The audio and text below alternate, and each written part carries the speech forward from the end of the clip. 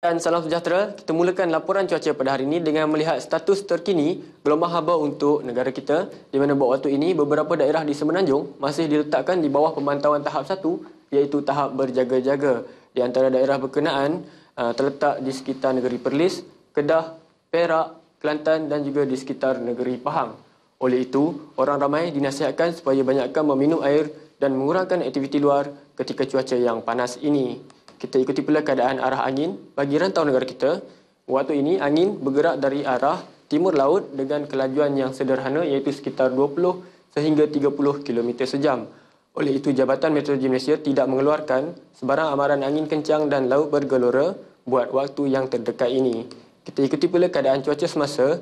Imej gemar radar menunjukkan uh, keadaan cuaca adalah cerah bagi kebanyakan tempat di sekitar Semenanjung.